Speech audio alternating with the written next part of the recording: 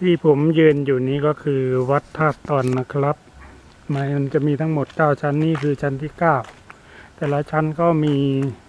ติมากรรมเกี่ยวกับพุทธศาสนาศาสนามาเป็นชั้นชั้นชั้นอันนี้ทำมังกรทองกับมังกรขาว อันนั้นคือพระอุโบสถแก้วทำเหมือนกับถ้วยชามสังกะโลกเคลือบ 真的吗？